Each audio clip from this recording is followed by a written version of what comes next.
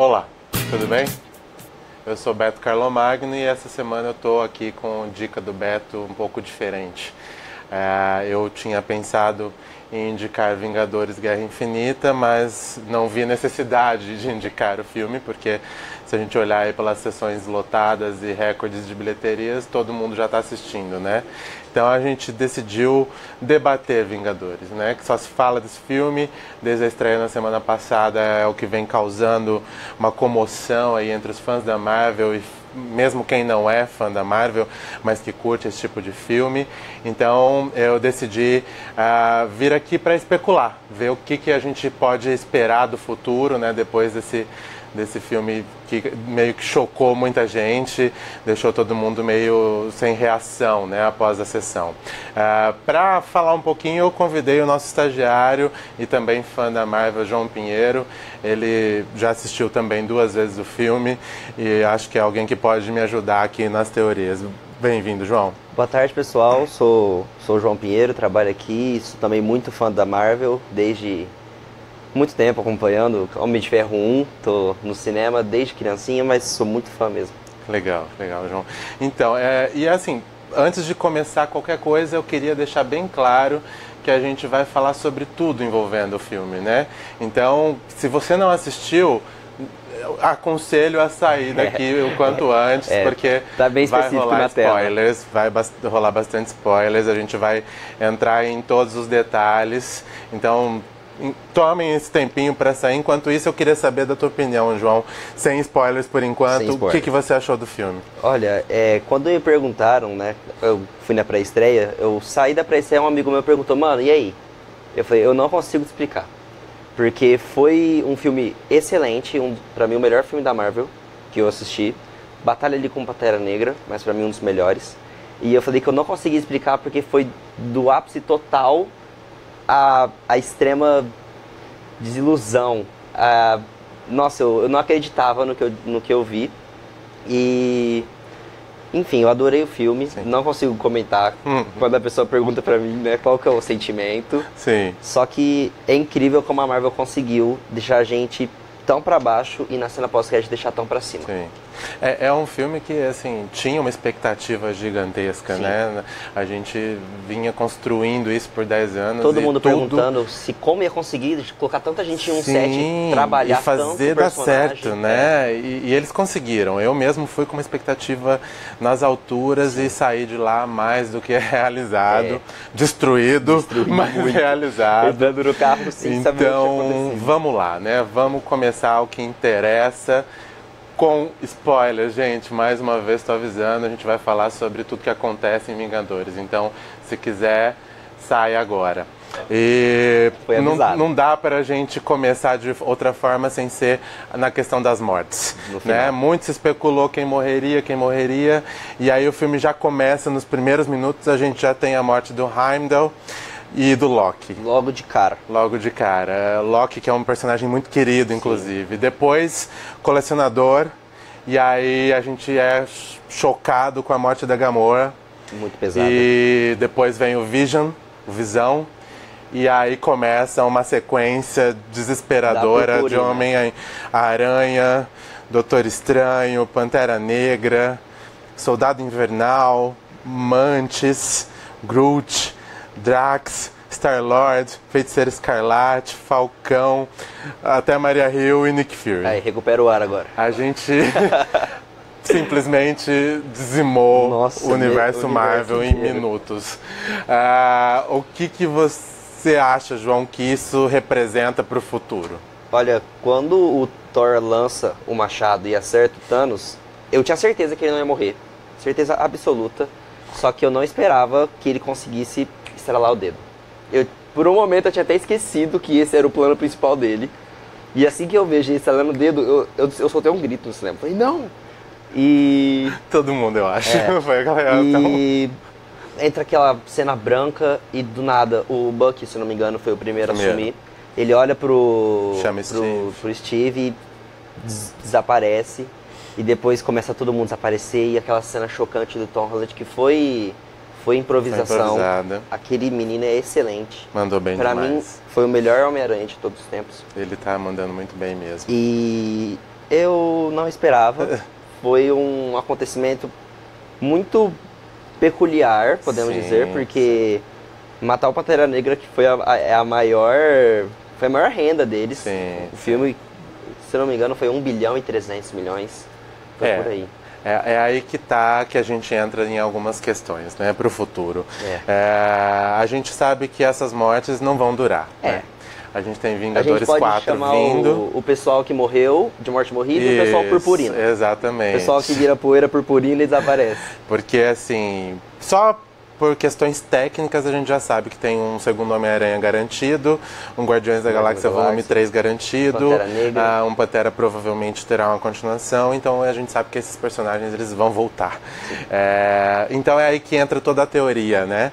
Que a, a discussão é a seguinte: esses personagens que desintegraram, no caso, com o estalar do dedos do Thanos, eles estariam possivelmente presos dentro joia da da joia da alma, né? Que a- abre uma, uma, uma nova dimensão ali que possibilitaria que eles retornassem assim que o Thanos fosse destruído ou a joia fosse recuperada ou algo do tipo.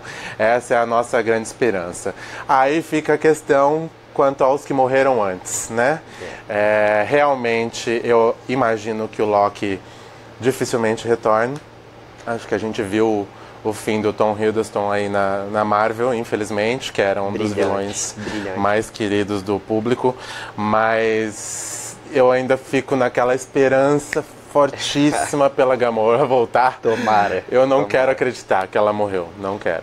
Tanto que eu não imagino os Guardiões da Galáxia sem ela, porque a razão do, do Peter Quill era ela. Sim, Ela era, tipo, a, a alma gêmea dele.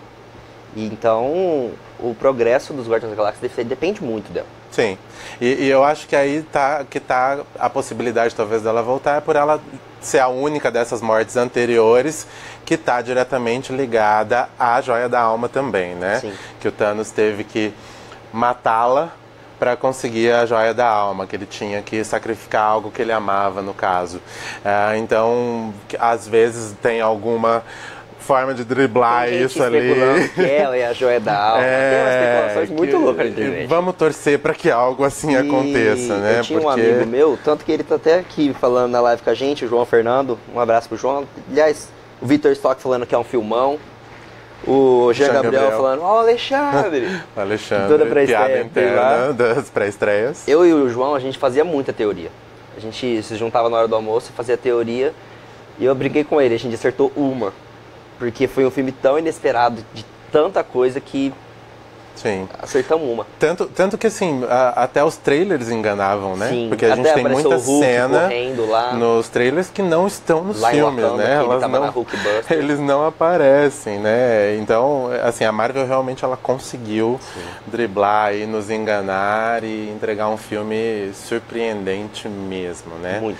Agora eu quero ver o que, que, que, que eles vão fazer para esse quarto filme. Tem muita gente especulando que vai ter toda uma questão de viagem no tempo também, Sim. porque o- os próprios atores foram flagrados gravando usando as roupas do primeiro gente vê o Steve Vingador. Sem barba também. É, então. Se não me engano, tá ele, o Tony Stark e o Homem-Formiga Sim. na cena, né? E o Tony Stark tá vestido como mais velho, então Isso. a gente não consegue entender direito aí o que que tá rolando, sim. mas deve ro- ter eh, envolvimento nisso. As apostas são justamente essa, né, para o futuro.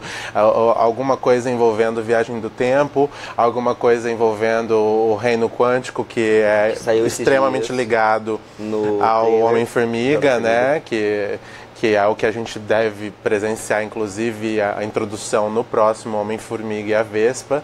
E, e também a gente tem aí a questão que o Doutor Estranho fala, né? Que essa era a única forma, né? Ele... ah, durante todo o filme ele fala que o trabalho dele é proteger a joia do tempo a qualquer custo, né? Nem que isso signifique deixar os Ele outros até fala morrerem. Stark, né? Se, se depender de salvar você e a Joia do Tempo, abraço. E aí ele entrega a joia do tempo para que a vida do Tony Stark seja poupada. Então, e aí depois ele fala, essa era a única maneira, né? Então a gente sabe que é, alguma coisa aconteceu porque ele teve aquele momento que ele visitou mais de 14 mil milhões de opções do futuro e, eles e ele encontrou uma única que é a única que eles conseguiam vencer o Thanos, né?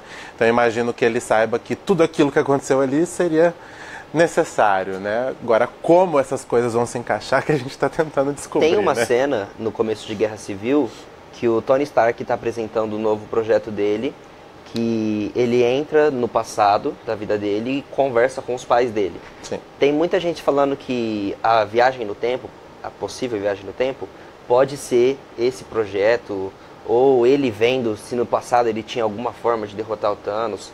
O que eu também acho pode possível. Ser, pode ser, porque ele, ali ele aparece velho, né? Sim, Entre sim. todos os outros rejuvenescidos. Uma coisa então... que eu também sei como ele vai voltar para a Terra porque ele tá lá na galáxia, perdido sozinho, ele e a Mas Nebulosa. ele tá com a, é, é, eu acho que eles conseguem montar uma nave, é. os dois. É, eles, né? A Nebulosa conseguem. que é robô e ele que Ela é é praticamente uma é. máquina e então... ele é Tony Stark. Montar uma nave para eles ali não é nada dois complexo. e além do, dessa questão né, do Doutor Estranho, a gente tem a questão da cena pós-créditos. Quando o filme acaba, é, normalmente a Marvel tem várias cenas pós-créditos e nesse a gente só tem uma depois de todos os créditos. Eu até achei que eles estavam mentindo que tinha só uma. Eu falei, não é possível. Não é possível. e... Em Guardians of the Galaxy teve cinco. Sim, e dessa vez eles realmente mantiveram a palavra. E a cena pós-créditos é Nick Fury e Maria Hill. Uh, dirigindo, eles se envolvem num acidente, não, os passageiros não estão no carro e de repente eles começam a desaparecer, desintegrar como todo mundo uh, após o estalar de dedos do Thanos. E antes do Nick Fury desaparecer completamente, ele aciona um dispositivo e esse dispositivo manda uma mensagem para um. E quando a mensagem é enviada, aparece o logo da aí. Capitã Marvel, ah. que foi um, um grande momento aí. Todo mundo vem esperando a Capitã Marvel finalmente ser apresentada no universo da Marvel e foi uma bela de uma apresentação, digamos. Para quem não conhece muito a Capitã Marvel, ela é uma das heroínas mais fortes do universo Marvel. Ela é um negócio absurdo assim de, de poder. É, o, a questão aí que fica é justamente como eles vão fazer essa conexão, né, Sim. né, João? Porque o filme dela que vai ser lançado no início do ano que vem, vai se passar nos anos 90, 90, antes de tudo. Então, onde estava a Capitã Marvel até hoje?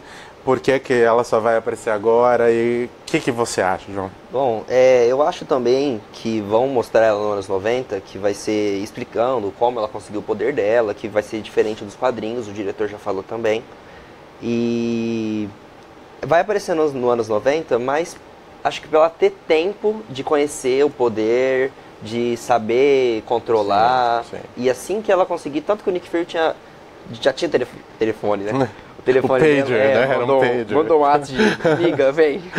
É, ele já sabia que ela existia, já sabia do poder dela e que quando acontecesse aquilo ele ia avisar. Sim. Eu também sim. gostei muito da parte que ele vai mandar um motherfucker, porque yeah, é o, é o ícone clássica. do Samuel Jackson. Clássica, clássica. E eu achei muito, muito boa essa é, Ela deve estar por aí pelo espaço, sim. né? Em algum lugar aí que vai ser explicado provavelmente no filme dela.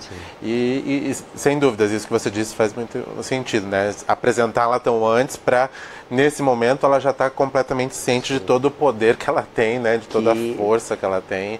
É realmente algo espetacular. E o, o Jean Gabriel até comentou aqui, Homem-Formiga que vai salvar geral no próximo, né? Eu também tô achando. É, ele não aparece em Guerra Infinita, nem ele e nem o Gavião Arqueiro, meu né? Gavião Arqueiro, meu favorito. Você é um dos poucos, eu acho que tem o Gavião é como incrível, favorito. Ele é muito bom, ele é muito bom. e, e, todo mundo ficou questionando antes mesmo do filme estrear, né? Cadê Gavião? Cadê Gavião? É. Todo mundo esperava que ele fosse aparecer de alguma forma, em algum Igual momento o importante. Capitão, o Capitão América que apareceu no a primeira cena dele foi impactante, ele surge né? assim, pegando e, e, e, ali nada, né? Nada dos dois. A, a, desculpa do filme, do roteiro, é que eles estão em prisão domiciliar após os eventos Sim. do Guerra Civil, né? O ah, que, que você acha, João, do, do, do, papel deles no próximo Vingadores? Bom, é, o Gavião Arqueiro ele ele tinha saído de férias, como ele dizia, no Guerra Civil e ele foi recrutado de novo, que viu que estava uma baderna. Capitão América e o Tony Stark querendo se matar, ele falou, gente, eu saio de férias, vocês fazem isso? Aí... O Gavião não é tão poderoso. Não, assim, ele é assim. Aí é brincadeira, foi preferido. zoando, é o Homem-Aranha, o, o arqueiro. Mas eu acho que ele vai saber. Se ele não morreu, né? Não, é, é. Ele pode ter Eu acho que não. desintegrado, É, né? eu Mas acho que não. É, eu acho que não. Ele vai ter consciência do que tá acontecendo também. É, eu acho que aquela mensagem que o Nick Fury tinha enviado pra Capitã Marvel, de alguma forma ele vai ficar sabendo, ou ela vai avisar ele. Enfim, ele vai voltar, porque ele também já conhece o Homem-Formiga, e o Homem-Formiga. Esse Homem-Formiga e a Vespa vai ser essencial. Sim, A história vai acontecer antes e depois. Porque eles vão viajar no, no No universo reino quântico, e vão voltar após o estalar de dedos. sim. E vai ser vai ser muito importante ambos os filmes, Capitão Sim, Marvel sim. e Homem-Formiga. É, eu acho que o Homem-Formiga vai ter um papel fundamental ali, justamente nessa questão. Porque eles é, é quem entende dessa questão Sim. do universo quântico, ele já visitou, né? Inclusive No primeiro no primeiro. Homem-Formiga. E agora, pelo que a gente sabe pouco, mas pelo que a gente sabe da história do Homem-Formiga e da Vespa, vai estar diretamente conectado a esse universo, porque eles vão para tentar resgatar a mãe da, Sim. da Hope, né, que é, É. interpretada pela Michelle Pfeiffer no filme. E, pelo último trailer, inclusive, mostra que a vilã, a Ghost, vai tentar é, roubar a tecnologia Sim, do. Hank para ter acesso a, a esse universo. Então a gente sabe que vai ter um papel fundamental ali e isso pode desencadear é, justamente na, no, no próximo Vingadores. E essa a aposta de todo mundo pro, pro Homem-Formiga não ter participado do, do Vingadores Guerra Infinita, né? Ele estaria Sim. no universo quântico enqu- É. enquanto tudo, Tudo acontece, acontecia. o que também seria a causa dele ter se livrado do estalar de estalar. dedos, né? Então, é, acho que ele vai ter sim um papel importante e, e esses filmes vão ah, são as duas peças que vão dar uma luz, eu acho, né? Homem-Formiga e a Vespa e Capitã Marvel vão meio que direcionar um pouquinho pro que a gente pode esperar do Vingadores 4, mas eu acho que de- mesmo assim a gente vai chegar lá o ano que vem sem saber muita coisa, É, né? Eles ficar muita conseguiram coisa escondida. eles conseguiram guardar bem, guardar bem, muito. bastante. Você viu que o Tom Holland foi proibido de ler os, os Os roteiros? roteiros. Ele e o Mark Ruffalo, É, né? Você viu que o Mark Ruffalo sim. também é péssimo em guardar segredos, Foi uma live né? que ele fez, não foi? Ele, ele transmitiu pelo celular Sim. quase meia hora do início do Ragnarok, né? Pré-estreia do filme, né? E os dois são péssimos nisso. Mas, É. e por falar no Mark Ruffalo, qual que é a tua teoria? Você acha que o Hulk tá com medo mesmo? Ah, e o Hulk eu achei ele meio modinha. Ele tomou, tomou um pau do Thanos e não quis aparecer mais, ficou com vergonha. Eu fiquei com raiva do Hulk, na verdade. É, porque a teoria que mais rola por aí é que ele ficou com medo, né? É. Ele tomou uma cacetada Tomou. e aí ele falou, não, é melhor eu ficar E- quieto aqui na minha. E a gente também pode perceber que o Hulk não. Ele tem total controle também não tem total controle do. do Bruce. Porque se ele quisesse ser pra sempre o Hulk, era só ele ficar. Então o Hulk ele tem uma paz, ele Sim. vai conseguir conversar com o Bruce, na minha teoria. E acho que eles vão conseguir entrar num. Eu acho num que a relação deles é bem complexa, Sim, assim. muito. E eu, eu, eu tava lendo uma teoria do Roberto Sadovski, que é o Uhum. crítico da UOL, inclusive, que eu achei muito interessante, que ele, ele entra na questão da, do Thor Ragnarok e o Hulk passou dois anos como Hulk. Sim. Então ele desenvolveu sua mente como se fosse uma criança de dois anos. Entendi. Então você pega uma criança de dois anos e ela toma um cacete daquele do Thanos, É verdade. ela não vai querer sair para brincar mais, né? Então faz muito sentido Vai. ele não querer, Vai. ele não querer ter, ter dado as caras no Guerra Infinita. E vamos ver como que o Bruce vai conseguir resolver isso E no próximo filme. A né? única teoria que, que eu e meu amigo acertamos foi dele na Hulkbuster. É, é. Uma cena que também já era meio esperada, porque no trailer, quando ele ia cair, ele caía Sim. meio desengonçado. Sim, sim. E a gente já sabia que se ele virasse o Hulk de novo, poderia não voltar. É, mas é, antes rolava uma- essa questão, que seria o, o Bruce dentro da Hulkbuster Sim. ou a Pepper, né? Até. É. Algumas pessoas Sim. apostavam até na Ah, Pepper. mas eu acho que a Pepper é meio bundona. Então ela não ia, não. Ela não ia, ainda mais pra Wakanda. É, não. Não. ela fica quieta lá no É. escritório dos Stark, Aliás, será né? que ela desapareceu? Ela desapareceu, o Tony Stark O Tony vai ficar vai irado. surtar, vai ficar Tony irado. surtar, certeza. É. Não mostraram mais, Verdade. né? E, e tem até umas coisas rolando sobre a questão da gravidez, né? Dela poder estar grávida Ah, e é? tal. Tem Ah, é pessoal verdade, é especulando verdade, é que ele verdade. fala no início, né? Sim, que ele sonhou que ela verdade. tá grávida. É verdade. É, Eu acho que não. Eu acho que ela teria avisado ele. Será? Na hora que ele Às tá vezes ela não espaço. sabia ainda. É verdade. Às vezes ela descobriu depois, né? Vai saber. É, outra questão, assim, agora a gente saindo um pouco dessa discussão de spoilers, mas falando do filme em si, é falar sobre o Thanos, né? Que a Marvel tem um problema histórico de vilões que salvo algumas exceções aí, Loki, Killmonger, né, e alguns outros bem poucos, ah, havia uma expectativa muito grande, né, Sim. por Thanos ser todo poderoso, e a gente queria saber se realmente ele ia ser aquele deus, né, e aquele vilão que todo mundo Aquele esperava. titã que E vai a chegar e gente- vai matar. Eu, pelo menos, acho que o filme é dele do início ao fim, né? Com certeza. É, Os heróis filme são é muito os coadjuvantes, nele. né? O filme é muito focado nele. Nele e nos filhos. Nossa, aquele Corvus Glaive, eu odeio aquele Corvus Glaive. Nossa, Todos eles eram. Nossa. Mas eu, eu acho que eles eram mais uma peça de xadrez ali pra gente ter alguém com uma cara do lado do mal que pudesse ser eliminado, entendeu? Acho que não, não tem. Não tem por que a gente ter aqueles personagens ali se não fosse pra isso, né? Pra eles serem eliminados. Porque quem do lado do mal que os heróis poderiam matar além dos filhos do Thanos, né? é verdade. Não- não- ou senão seria aquele bando de monstros sem É. feição que não acrescenta nada emocionalmente É. pra história, né? Sim. Mas o Thanos é um, um vilão complexo, é um vilão é, que tem uma série de questões ali que vão além do quero destruir o mundo, Sim. né? Quero dominar o mundo ou coisas do tipo, né? E ele lida com emoções, né? Com uma série de, é, inclusive quando ele precisa matar Gamorra para pegar a joia da alma, é um momento bem complexo ali para ele, Eu né? fiquei chocado quando eu vi ele chorando. Eu já sabia que ele tinha sentimentos, tanto que nos quadrinhos ele amava a morte, ele fazia de tudo pela morte. E mas chorando de tipo por, por ele ter que matar alguém que ele ama, é, perder alguém. Pra mim perder pra ele era fácil, porque ele sempre perdeu filhos, como Sim. ele dominava tudo. Mas um amor que ele sentia pela Gamora eu, eu não esperava.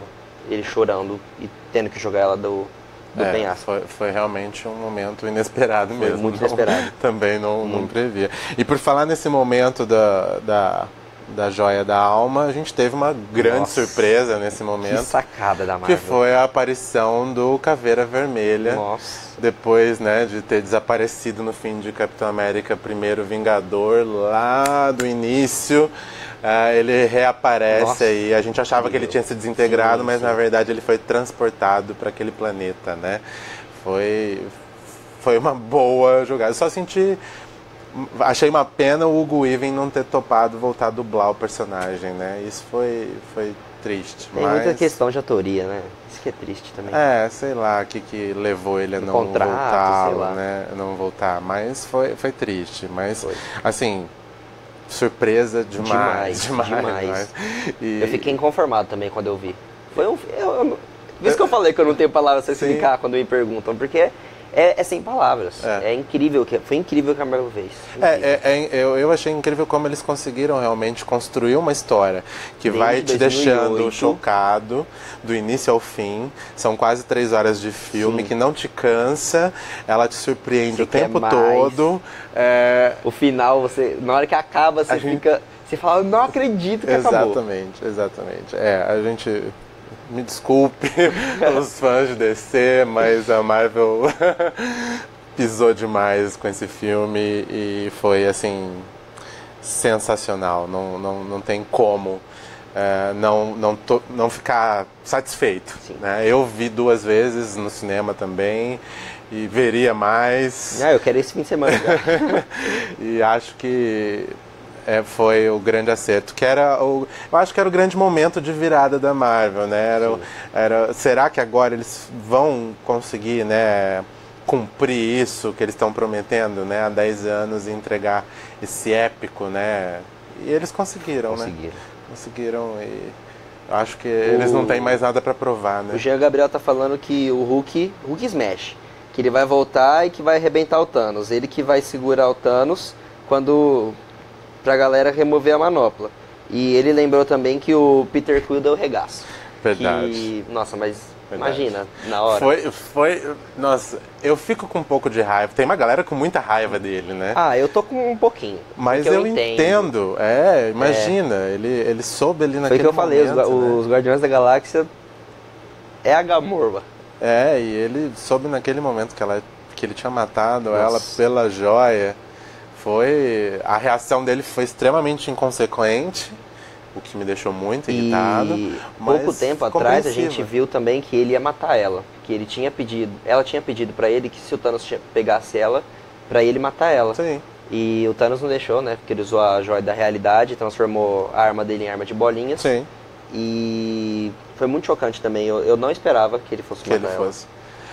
É, mas isso mostra o quanto a relação deles era forte, né? E, o ela dizendo ele faria que tudo por ela, ela dizendo né? que amava ele antes de morrer Sim. do tiro foi também muito impactante. Foi. Imagina, Foi- ela que sempre, ela sempre foi marrenta, sempre brigou que que brigava Super, com ele super mesmo, né, tipo, de soco.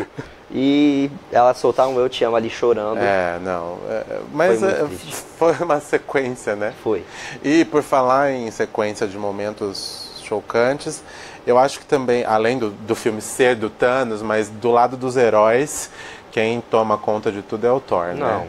Thor Desde é- o Ragnarok, ele já vem se mostrando o deus O do deus trovão, de, trovão de verdade, verdade. E aqui ele, mais uma vez. Nossa, a hora que ele chega em Wakanda foi Arrepia. espetacu- Arrepia. Arrepia. Foi espetacular. Arrepia. Ele chegando já já matou uns, uns 55 só na Só, descida. só, só, só na Aí entrada triunfal. Já, roda o, o, o- martelo e é impressionante. É, é, impressionante. O Groot também teve um trabalho importante. Sim, sim. Fiquei mu- sim. nossa, ele mas pra foi... mim só não foi mais triste que o Homem-Aranha. É, a- a- a- o momento do Groot foi triste, até pela relação dele com o o Rock, Rocket, né? nossa. É, mas o Homem-Aranha, quando ele começa a, se desintegrar. A primeira lá, vez, quando ele fala que ele. Ah, eu tô sentindo alguma coisa, eu achei que era alguma piada. Ele fala, ah, tô sentindo uma dor de barriga.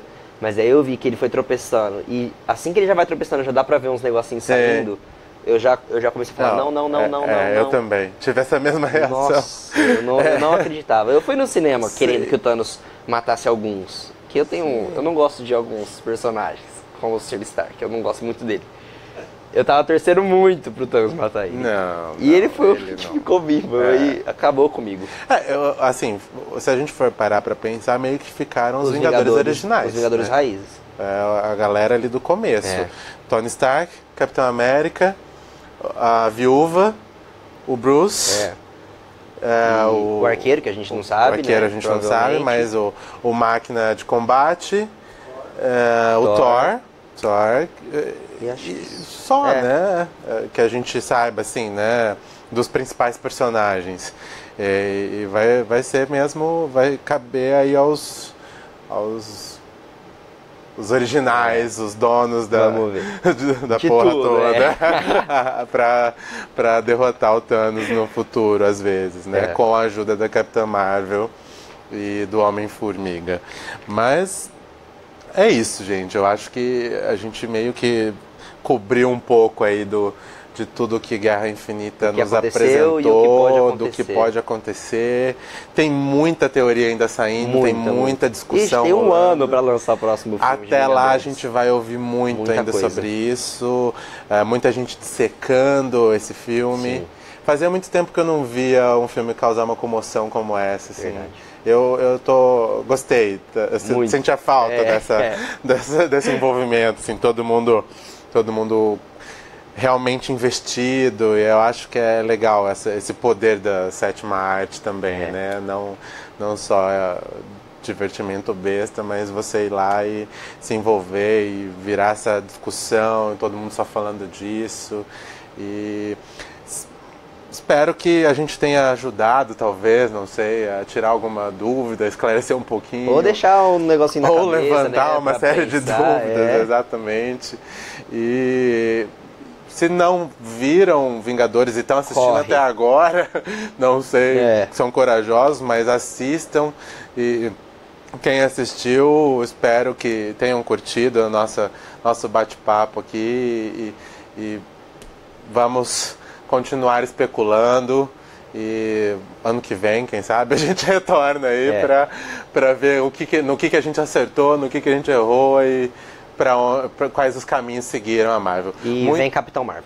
Vem Capitão Marvel, Capitã Capitão- Marvel, Capitã. vem Homem-Formiga e a Vem. Vespa e vamos só aqui ficar na ansiedade agora. Agora é esperar. Obrigado, João. Obrigado, Beto. Obrigado, pessoal aí de Obrigado casa. a todo mundo que no, acompanhou aqui aí. com a gente, a dica especial do Beto dessa semana. Semana que vem eu tô de volta com as dicas normais. Obrigado.